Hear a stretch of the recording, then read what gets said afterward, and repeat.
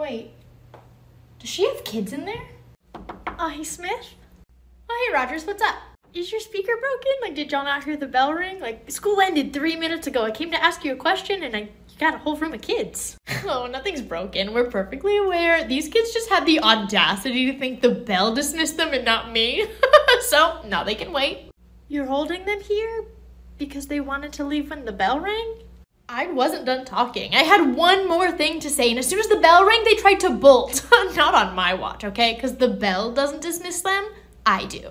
Smith, like, like, yeah, for sure, they should hear your last few words because that's respectful, but no, school is over. You don't have authority to just hold them here to prove a point. Some of them are gonna miss their bus.